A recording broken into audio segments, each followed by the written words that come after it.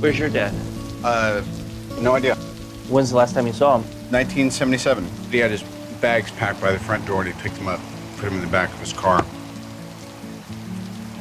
and uh, drove away. Last time I ever saw him.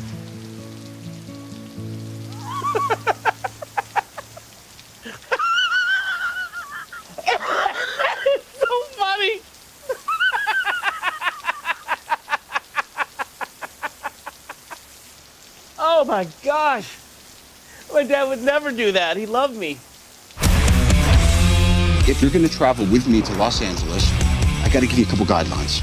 Number one, don't ask me a single question. What's your favorite color? What age did you lose your virginity? Do you like hot dogs? I once ate a foot long corn dog on a nude beach. I'll never do that again. Number two, If you're allergic to waffles, don't eat waffles. Then don't take me to a Waffle House. If I miss the birth of my child, I'm going to choke you out with your own scarf. Wrap that thing around your neck and choke you out. Seems a bit drastic. Holy moly, it's like I'm traveling with a child. Did you use the restroom? Good point. I need to take a pee pee. Check this thing out. I can't believe I did that. Don't panic!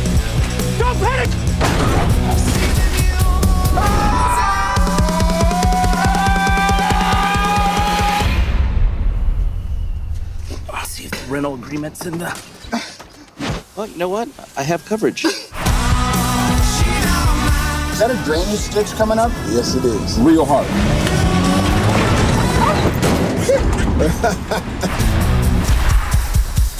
Hold something. Nope. Hand me that dog. I will rip it in half.